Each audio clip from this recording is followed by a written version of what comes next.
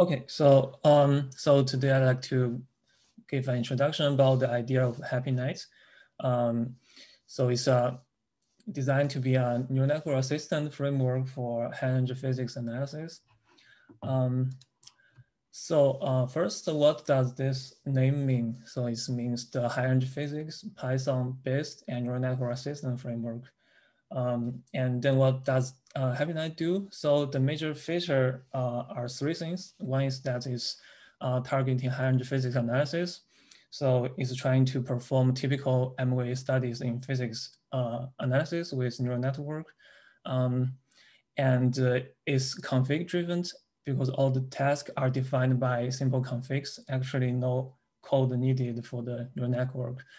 And uh, it's all, the codes are uh, written in pure Python. And as Python is, is a mainstream language for neural network study right now, it will help us easier to use the uh, new packages that come out that may help us uh, in some aspect.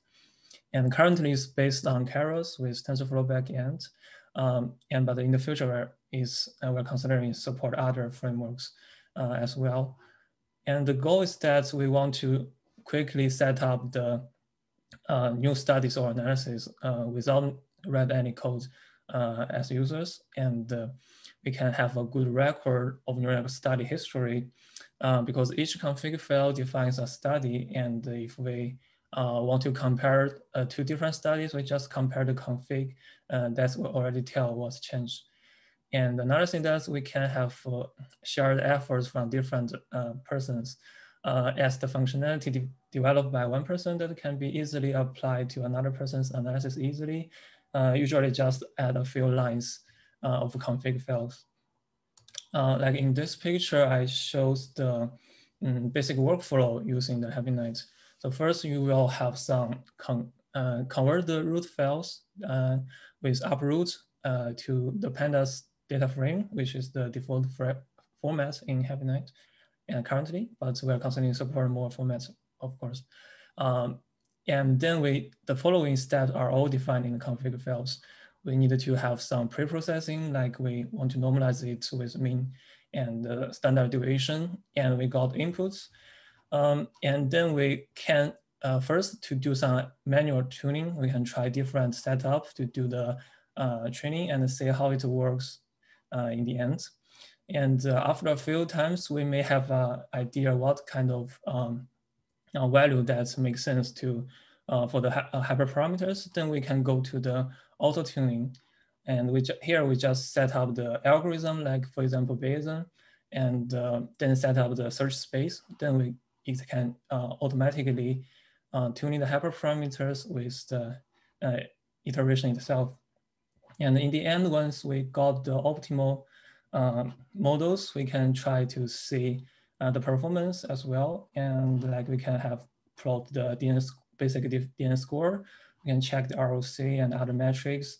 And also we can produce the input for the fitting framework and we can check the feature importance with permutation method and so on. Um, so the this page shows the core package used in Hepynet right now. So for data processing, we are um, using Uproot and uh, Pandas for management. And for the training, we currently use the Keras with TensorFlow backend and uh, use sklearn to help some uh, processing in some spa space. And uh, uh, for the tuning, we are using the RayTune, uh, which is can experiment, exact, can do the experiments of different hyperparameters at any scale. And uh, for plot, right now we're using just basic matplotlib, but I saw a good uh, package that uh, mplhep today. Maybe we can use that in the future for better and easier plots. Um, like this page shows the core, core concept, of the config files where uh, that defines a job. So we currently use uh, YAML format and we have three different type of uh, configs. Like we have train, uh, one type for tune, and also for apply. And in total, we have six sections plus one uh, run section that manages at the running time. And we can see some examples here. Um, like we have these three sections are just are, are some general settings for different uh, uh, job types. like we can first including some dependence config files and uh, and for job section, we can have some uh, general settings like the specified job type and the direct, uh, directory to save the outputs. And also sometimes you may want to set up the random seed as well to have a, a repeatable result. And that also can be done in the job section. And in the inputs, we specify the source of inputs and we want to specify what kind of features we want to use, what kind of process we want to include, and what kind of pre-processing we want to do. Like we can have um, a normalized uh, array, and we can also have some scale of the training weight. And also we can like, uh, uh, here we can reset features that's mainly for the um, parameterized neural network. And for the training is uh, quite straightforward. Here we just have some model class developed for the different high-energy physics task. Uh, and then you just put some uh, parameter that's just uh, basic Keras uh, parameters, and uh, you specify here, and the code will read it and to do the training, and you set up uh, the early stopping as well, the, the metrics you want to monitor as well. And then for the tuning here, um, so, so here we want to do a automatic uh, hyperparameter tuning. We need to set up the algorithms. And as the Ray package support many uh, other algorithm like the Optuna HyperOpt Bayesian. So basically it's very flexible to choose what you want. And then you set up a search space as defined uh, here. Um, basically it's just a similar uh, set uh, configs like the training config file. So you set up different hyperparameters, but one difference in that in here you can set a fixed value, but you can also set up a, a spacer, uh, set, set up a dimension here. For example, here you set a dimension uh, between zero and zero six, nine, and then later will the algorithm will do a scan at this dimension, and you can specify multiple dimension as well.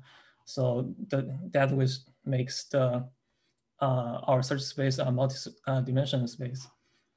And in the end, after we finish the uh, training and uh, tuning, either by hand, uh, either by hand or uh, automatic tuning, we want to look what it looks like, and we can book different studies. Like here, we want to we can check the history, we can check the kinematics, and check the uh, MAV scores. Um, uh, yeah, and also we can check the uh, kinematic before and after some uh, DNN cut and also importance uh, studies.